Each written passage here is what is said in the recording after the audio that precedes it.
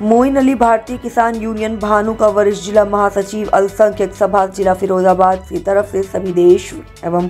प्रदेशवासियों को दीपावली की हार्दिक शुभकामनाएँ। मैं मोहम्मद मोइन अली, भारतीय किसान यूनियन भानु का वरिष्ठ जिला महासचिव, अल्पसंख्यक सभा, ज़िला फिरोज़ाबाद की जानब से सभी देश एवं प्रदेशवासियों को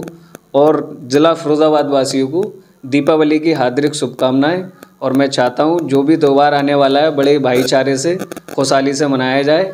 और आप सभी को दीपावली की हार्दिक शुभकामनाएँ, मुबारकबाद।